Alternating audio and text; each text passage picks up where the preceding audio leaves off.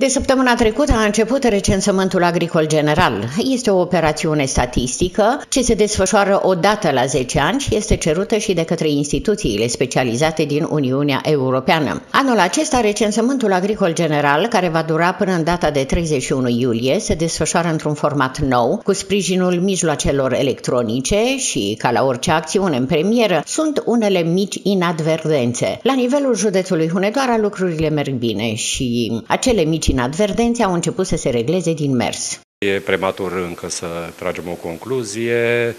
Sunt uh,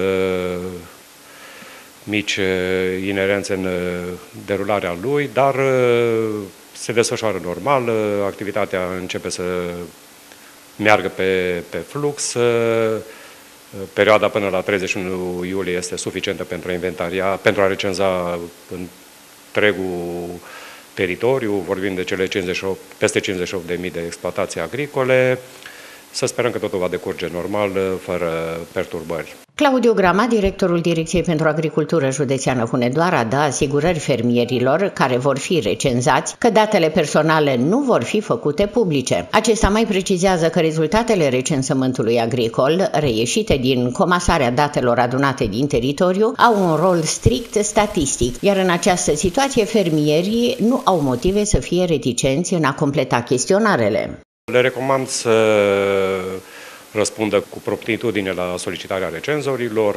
Nu sunt uh, date care vor fi de, uh, date, cum să vă spun, date destinate altor prelucrări decât scopurilor uh, statistice. Sunt date legate strict de modul de cultivare a terenului pentru anul agricol 2020, date strict legate de forța de muncă utilizată în perioada aceasta, date legate de efectivele de animale, deci nu sunt date care să creeze probleme din partea proprietarilor de exploatații sau a capilor de gospodărie din mediul rural. În județul Hunedoara sunt aproximativ 300 de mii de hectare de pământ care sunt utilizate în activități agrozootehnice.